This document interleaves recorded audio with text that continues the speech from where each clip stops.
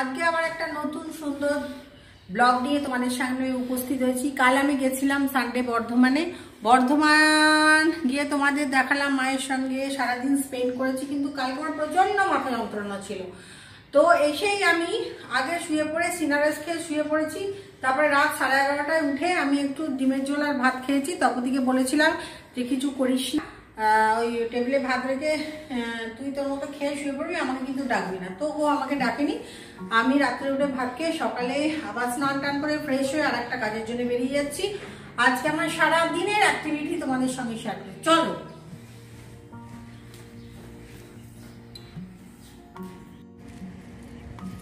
প্রথম গন্তব্যস্থল হচ্ছে ইলেকট্রিক সিটি অফিস রাজারহাট।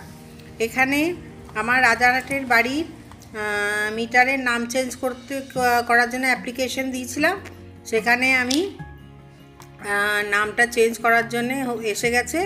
তো সেই জন্যে আমি এর, এখানে ভিতরে ঢুকছি।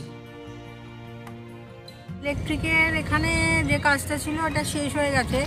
আমি উবের বুক করলাম। দুবার উবের ক্যান্সেল করে দিল। তিনবার সরি দুবার না, তিনবার উবের ক্যান্সেল করে দিল। এটা কি অবস্থা? মানে আমাদের এই এরকম উবেরের কাছ থেকে এরকম সার্ভিস আমরা আশা করি না। প্লিজ এটা কেউ একটা মানে বলো তোমরা সবাই। মানে আমি শেষে এরম এখানে বসে পড়েছি রাস্তার মধ্যে। এত রোদ আলটিমেটলি একটা উবের আসতে বলতে জানি না পঁয়তাল্লিশ মিনিট ওয়েট করার পর অবশেষে উবের এলো। তাও আবার উল্টো ফুটে এসে দাঁড়াল।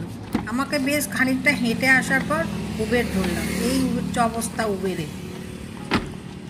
কাজগুলো কমপ্লিট হলো সেটা হচ্ছে ইলেকট্রিক নিউ কানেকশানে টাকা দেওয়া হয়ে গেল এই বাড়িতে। আর হচ্ছে আমাদের পাটুলি ফ্ল্যাটের জন্যে তালা মেন গেটে তালা ইয়ে হয়ে গেছিল। এই তালা কিনে নিয়ে আসলাম। হুম, এটার জন্য চাঁদনি গিয়ে আনলাম। কারণ সব জায়গায় না, এই যে এই লেন্থের লেন্থটা সব জায়গায় পাওয়া যায় না। দেখিয়ে দিই।